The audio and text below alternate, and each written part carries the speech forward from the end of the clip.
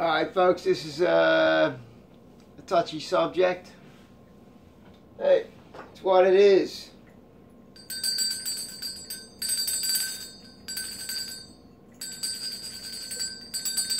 All right.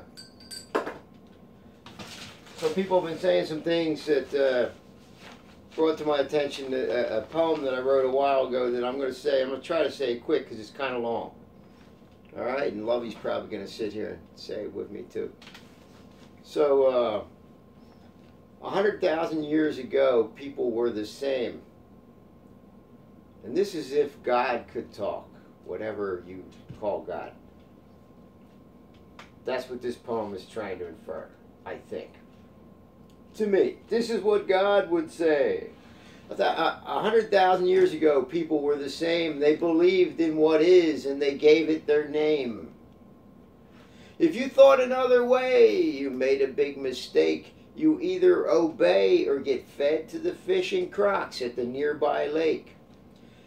I am that I am had spoken and wanted them to be too. Why cast me so far? You gotta be joking. You're now a confusing stew. So out of my mouth I spew you like I never knew you. Can't know me from a book. Only inside need you look. In my oneness they did not believe. Man made names for me and put them on their sleeve. All it does is make me grieve. Through the words of men they became naive. I am within, they have not perceived. By the words of men they have been deceived. Don't put labels on me, you get what you see. Won't let you take the won't let you take the power from my tree. I got the knowledge of good and the knowledge of evil. Your opinion to me ain't worth a dung beetle. People using labels, that's how they steal. Stirred up emotions won't think, only feel if one can't question honestly, how can one be truly free? Ask questions, my friend, without haste.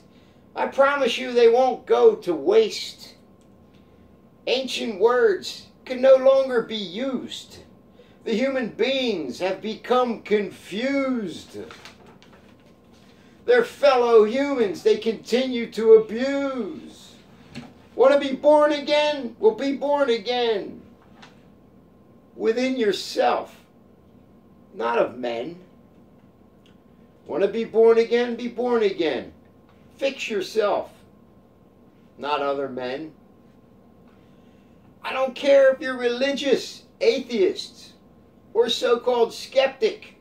All of our minds can get a little septic. Yeah. Sometimes it's good to see another point of view because you just might find out you were being fed poo. And sometimes I still do. So take off your special glasses and your lucky socks. Try to do some thinking outside your own box. But the other person's view is like the chicken pox, isn't it? Yeah, um, so many religions, which one is right? When we talk about God, it makes us want to fight. Each one thinks God is on their side, and the thing that stinks is that we're full of pride. Confusing egotism is the beast we ride. Not even when we're dead are we satisfied, so we invented a place where you're eternally fried. If you don't believe in God just the way we say, we could try to make your life a living hell every day. How do I know? Because I used to do that to people. What else? Anyway, I got more if people's feelings can take it. But I know a lot of people feel the same way. It's been a long journey, folks. It's been a long journey. I gotta say something, you know?